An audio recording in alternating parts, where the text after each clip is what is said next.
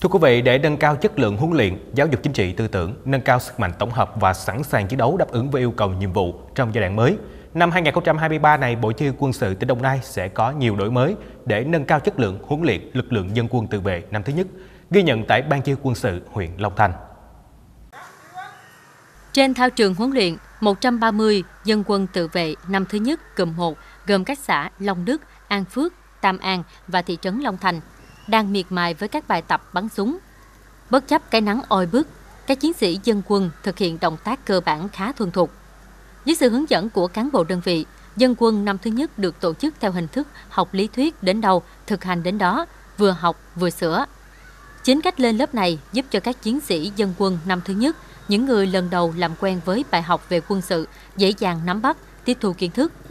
Ngoài nội dung huấn luyện quân sự, các chiến sĩ dân quân còn được giáo dục chính trị, hậu cần, kỹ thuật, các nội dung cơ bản của luật dân quân tự vệ. Tham gia đợt huấn luyện này, chúng tôi là những dân quân tự vệ năm nhất đã được các đồng chí cán bộ của Ban Chỉ huy quân sự huyện giải thích các nội dung về chính trị, quân sự, hậu cần, kỹ thuật. Tôi cảm thấy những nội dung này hết sức bổ ích và ý nghĩa, giúp chúng tôi hiểu thêm rất nhiều về nhiệm vụ quân sự quốc phòng. Chúng tôi sẽ quyết tâm học tập thật tốt, kết, kết thúc khóa huấn luyện đạt kiểm thành tích khá giỏi trở lên. Để nâng cao kết quả huấn luyện đối với ờ, chiến sĩ dân quân năm thứ nhất thì đối với ờ, cán bộ huấn luyện chúng tôi phải thể hiện ờ, được cái trình độ năng lực trong quá trình huấn luyện. Đồng thời là phải nâng cao được cái tinh thần trách nhiệm của người cán bộ huấn luyện. Và đây là cái kết quả và đây là yếu cái yếu tố mà quan trọng và ảnh hưởng đến kết quả huấn luyện chiến sĩ dân quân năm thứ nhất của ban chỉ huy quân sự huyện Long Thành.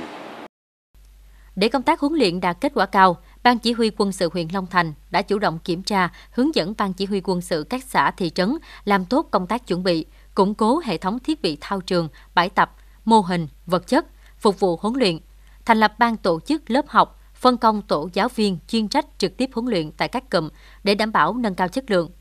Bên cạnh đó, Ban Chỉ huy quân sự huyện coi trọng bồi dưỡng, tập huấn cho đội ngũ cán bộ trực tiếp huấn luyện, tích cực đổi mới phương pháp, nội dung phù hợp với từng đối tượng và xây dựng phong trào thi đua sôi nổi trong huấn luyện.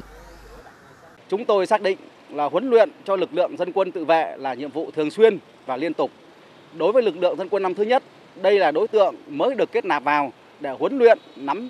vững về kiến thức, bảo đảm điều kiện sau khi huấn luyện xong thì biên chế và các lực lượng như dân quân binh chủng, dân quân cơ động sẵn sàng nhận và hoàn thành tốt các nhiệm vụ được giao.